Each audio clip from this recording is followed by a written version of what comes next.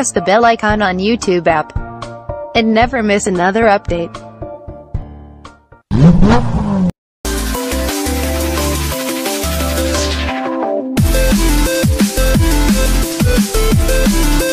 तो मेरे साथ थोड़े दोस्त थे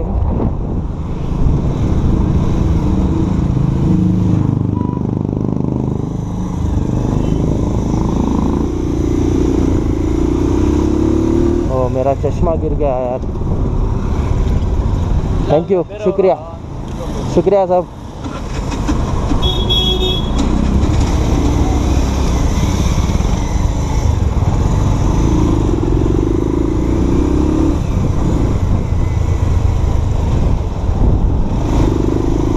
शुक्रिया साहब बचा लिए नहीं तो टूट जाता हो।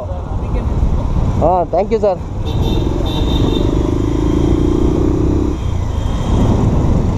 अरे, मेरा चश्मा गिर गया। पॉकेट में रखा था। बट वो ऑटो अंकल हेल्प किए ट्रैफ़िक को रोक के मेरा चश्मा उठा के दिए। ऐसे अच्छे लोग चाहिए यार हमें मतलब अगर दूसरा कोई होता ना तो ऊपर चला देता या फिर केयर नहीं करता। बट इस बंदे ने ऑटो रोक के मेरी हेल्प की। बहुत बहुत शुक्रिया अंकल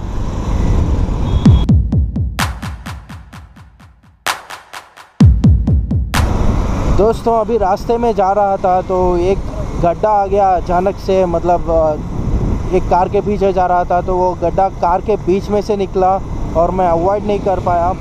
तो गाड़ी को तो कुछ नहीं हुआ, बट गाड़ी का हैंडल जो है वो देखिए अब इधर इधर क्रैक पड़ गया है मतलब ऑलमोस्ट टूटने वाला ही है।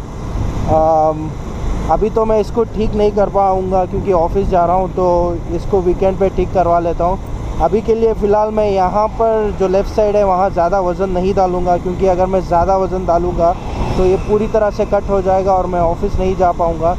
तो इसलिए मैं संभाल के चला रहा हूँ अभी। तो एक बार इसका रिप्लेसमेंट हो गया तो मैं आपको अपडेट करता हूँ। दोस्तों ये गड्ढे इतने ख़तरनाक होते हैं कि वो बाइक भी डैमेज कर देंगे और आपको भी डैमेज कर देंगे। आ, ऐसा ही एक किस्सा पहले भी हुआ था जहाँ पर मेरा रेयर टायर का जो मैकविल है वो कट हो गया था गड्ढे में उतारने की वजह से लेकिन आज आ, हैंडल बार कट हो गया है।